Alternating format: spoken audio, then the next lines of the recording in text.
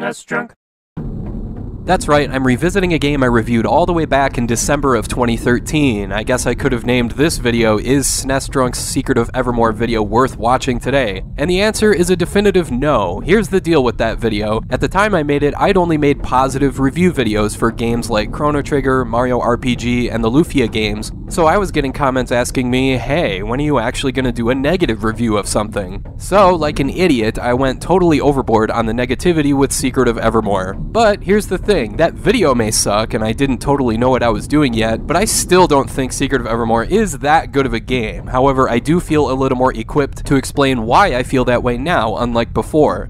First, let's talk about what Secret of Evermore actually is. It's an action RPG made by Squaresoft, and it's the first game made by the short-lived Western branch of Squaresoft. So yeah, this game was made in North America and was never actually released in Japan. Where people might get confused about this one is how it's related to Secret of Mana. The answer is it's not at all. It's a totally different entity altogether. It may share a lot of similarities, like in the title, in the controls, and in the ring menu system, just to name a few things, and it even shares some of its flaws, but Secret of Evermore is its own thing, and it's not part of the Mana series. I'll start out by talking about the strengths of Secret of Evermore, beginning with the story. You start in Podunk, USA, where your character has just seen The Lost Adventures of Vex, a cult classic, before your character's faithful dog decides to chase a cat all the way to this old abandoned laboratory. You stumble into whatever this is, and your dog decides this is a perfect opportunity to start chewing on some wires. It causes both you and it to be warped somewhere. You're greeted by some old dude who helpfully guides you to a chamber that contains these robotic things that attack you. And thankfully, there's a bazooka nearby that you can use to blow them to smithereens. You try and find your way out, but instead, both you and your dog find yourselves in a spaceship. Turns out you were orbiting the Earth somehow, and now you've crash landed into a jungle, and your dog is now somehow a monster? What the heck is going on? I really like how the story is laid out here. There's plenty of intrigue right off the bat, so I can't help but be curious to find out what's really supposed to be happening. You explore and end up fighting these dinosaurs until eventually you wander into a village, which is apparently led by someone named Fire Eyes, who is this little girl? Okay. She tells you that you're in a place called Evermore, a prehistoric island, and if you rescue the village alchemist, she will help you try and find your way back home, and so begins your adventure. You'll see right away that the dialogue is sharp and actually, you know, know, kind of sort of resembles how people actually talk. I also really like how fleshed out your character is. He's apparently obsessed with some cheesy monster movies. Hey, that makes two of us. And he's always referencing some scene or some line from a movie with a title like Mars Needs Lumberjacks. I really like that touch. Plus, I mean, you have a dog as your companion. You gotta love that. Another strength of Secret of Evermore is just the look, feel, and sound of this game.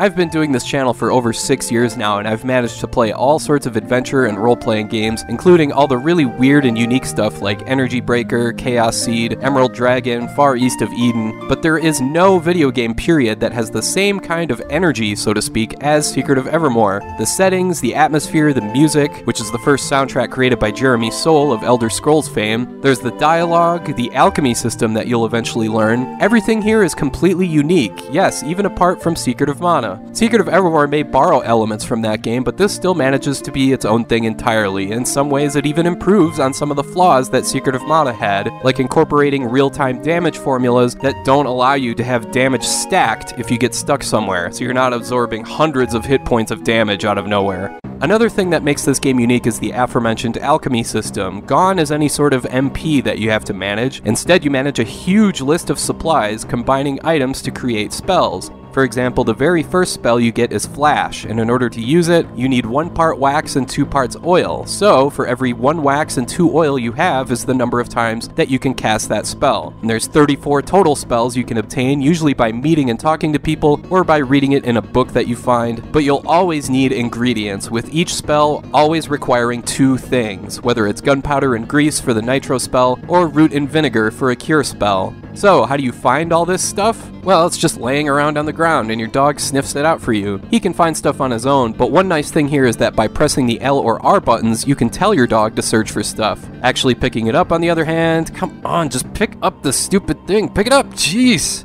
You can also buy these items in stores just like anything else, but at the beginning of the game, money is really hard to come by, so you're better off just trying to find it yourself. Overall, I do like the alchemy system and it's definitely something different, but certain ingredients can be tough to find depending on where you are in the game. In fact, you may find yourself backtracking a ton just to find one ingredient. Unfortunately, when it comes to actually using the spells you create, Secret of Evermore implements the same system as Secret of Mana, where you pause the game right in the middle of battle and just spam the hell out of your attacks. It's really cheap, and I wish they would have mapped a button on the controller that used magic. That way there'd be a little bit of skill involved, at least in terms of timing maybe, I don't know. Also, the same as Secret of Mana, in order to level up a spell, you just have to use it a ton of times. 10 times to level 1, an additional 20 times to level 2. In other words, you need a ridiculous amount of materials to get your magic to a useful level, and that sucks because at first, your spells are really weak.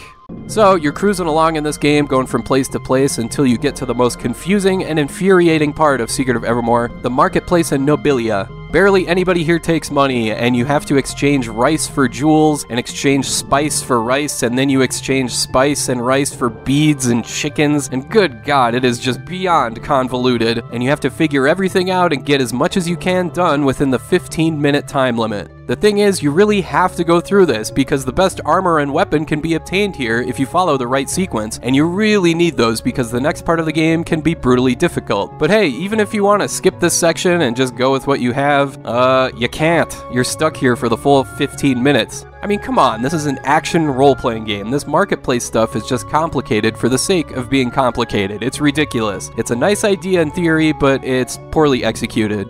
I also have to mention the dungeon design in general is just so incredibly uninspired. Every maze seems like it lasts forever, and yeah, I appreciate the wonderful music and the creepy atmosphere, but these dungeons just drag on and on with the same enemies over and over to the point that the game starts to feel like work to get through at times. The pacing is just really poorly done. Here's a map of one dungeon early on, and then here's the next one, and then here's the next one. As you can see, there are all these huge winding mazes, and it really gets old. Even the boss fights manage to drag on forever, too. You also have to deal with maybe the worst flaw in the game, the hit detection. You'll find yourself flailing away at flying insects, dinosaurs, killer plants, with you having to recharge your attack after every attempt, and sometimes you hit and sometimes you miss, and it feels like there's no rhyme or reason to it. I know some people are going to respond to that point by saying that the hit detection is just as bad in Secret of Mana, but I disagree. I thought it was decent enough in that game, plus at least you've got all sorts of different weapons you can pick up early on, and it also feels like you have more room to work with in that that game. In Secret of Evermore, all the paths are so narrow, so there's not much room to dodge, and you're stuck with the bone and then later the spear as your primary weapons for a long time. You can at least switch between yourself and the dog so you can attack back and forth, and that can work pretty well. And yes, you can use alchemy as well, but certain materials are so hard to come by that I wouldn't recommend using alchemy unless you absolutely have to.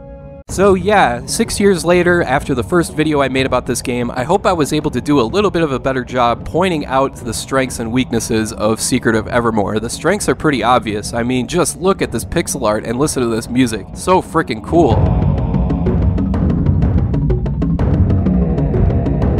Story is interesting. It's something different beyond the usual evil empire stuff, and there's no token love interest here either. I like the main character and I like the dialogue, plus I love the dog, of course. But I should mention that sadly this game is not two-player co-op. You need to patch the game in order to add that feature. I do like the alchemy feature, but I feel like it can be a chore to manage since certain elements are tough to come across. Plus the dungeon design here is just boring maze after boring maze, and ugh, the marketplace, just awful. Still, like I said at the beginning of the video, there is no other 16-bit game and really no other video game period that has this kind of story combined with the kind of vibe and atmosphere that Secret of Evermore has. It's a truly unique game, so for that reason alone, I really think it's worth checking out just to see if you can stomach the game's flaws. If you can, then you'll really dig this game. If you can't, then I don't blame you. Personally, I've grown to enjoy this game a little bit more over the years despite its shortcomings, so I do think it's worth trying out just to see if it's your kind of of game.